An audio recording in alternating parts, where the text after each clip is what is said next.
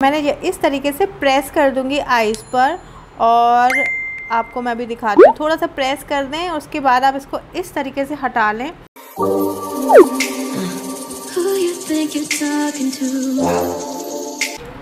Hi everyone welcome back to my channel आज के इस वीडियो में मैं आप लोगों को कट क्रीज आई मेकअप बताने वाली हूँ। आप सभी को पता है कि चल रही है हमारी आई शेडो की क्लासेस यानी कि आई मेकअप की क्लासेस और जो बिगनर्स होते हैं, उन्हें कट क्रीज आई मेकअप सीखने में बहुत ज़्यादा टाइम लगता है और बहुत डर भी लगता है। तो आज मैं आप लोगों को एक ट्रिक बताने वाली हूँ।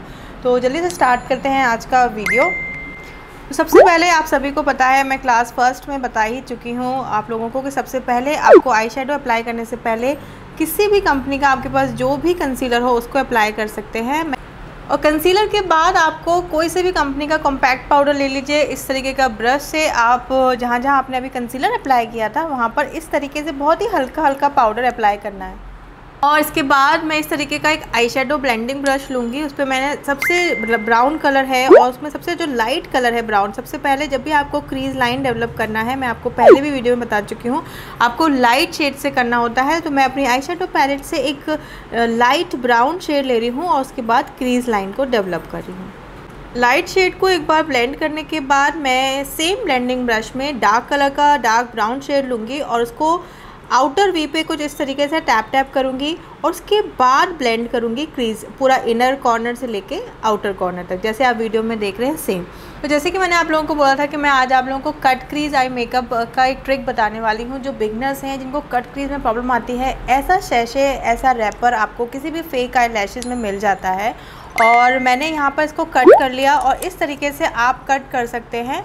और कट करने के बाद अब मैं, उसके बाद इस तरीके का शेप निकल कर आ जाएगा आप जब कट करेंगे, उसके बाद आपको, और इसके बाद मैं, मैंने इस तरीके से प्रेस कर दूँगी आइज़ पर, और आपको मैं अभी दिखाती हूँ। थोड़ा सा प्रेस कर दें, उसके बाद आप इसको इस तरीके से हटा लें।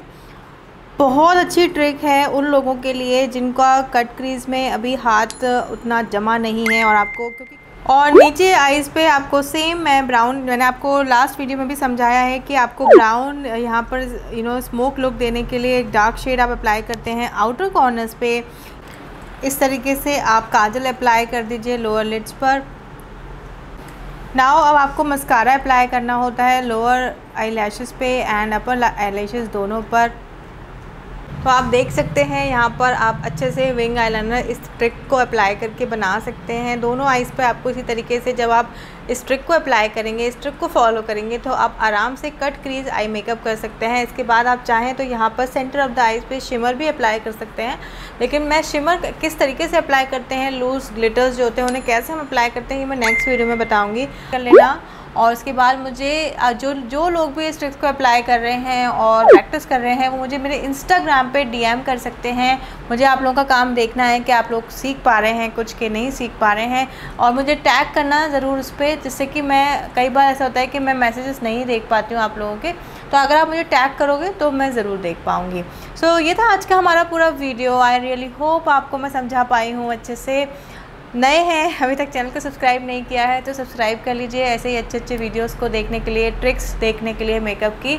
और इंस्टाग्राम पे अगर अभी तक फॉलो नहीं किया तो प्लीज़ जाके जल्दी से इंस्टाग्राम पे फॉलो करो क्योंकि मैं बहुत ज़्यादा एक्टिव रहती हूँ वहाँ पर। Thank you so very much for watching guys अब हम मिलेंगे अपने नेक्स्ट वीडियो में। Bye bye